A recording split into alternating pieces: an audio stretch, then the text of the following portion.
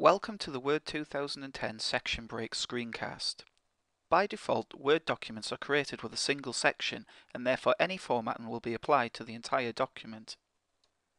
By inserting section breaks, you are able to split a document into two or more sections, which allows you to apply different formatting or page layout to individual sections. This is particularly useful where you want different headers and footers for each section, or you want to change the page orientation for specific pages within a document, for example.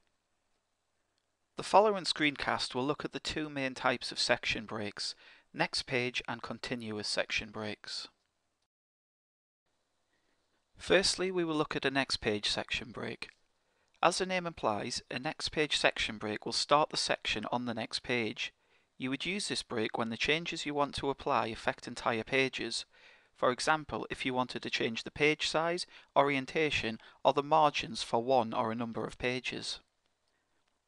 Firstly, click just before the word you want to be at the start of the next section. In this case, the word introduction. Then in the ribbon at the top of Word, click on the Page Layout tab. Slightly along this tab, you will see the Breaks feature with a drop-down arrow next to it. Click the arrow and halfway down you will see the Section Breaks menu. The first one listed is the next page section break that we require, so select this option. As you can see, the word introduction now appears in a new section on the next page. This allows us to apply formatting to one section that will not affect the other section.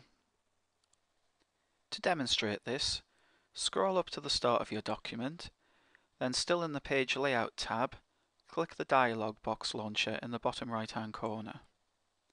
From here, select the Layout tab, then in the Page section, click the drop-down arrow and select Center. Click OK to apply your changes. You can now see that the first page of the document, Section 1, has everything vertically aligned and centered.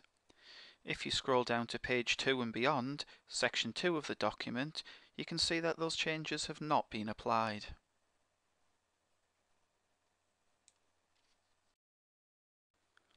Next we will look at a continuous section break. Continuous section breaks enable you to isolate text within a page and change layout elements such as the number of columns in which the text appears. This might be handy, for instance, when creating a newsletter or flyer. To demonstrate this, I will click just to the left of New York, then still in the Page Layout tab, click the drop-down arrow next to Breaks and select Continuous Section Break. We can now apply a rule just to the part of the document where the break has been inserted. Still in the Page Layout tab, click on Columns and select 2.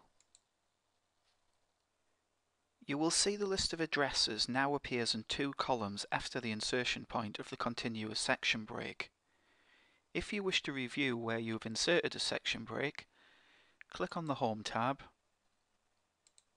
and select the Show Hide option. Here you can see the point where the section break was inserted.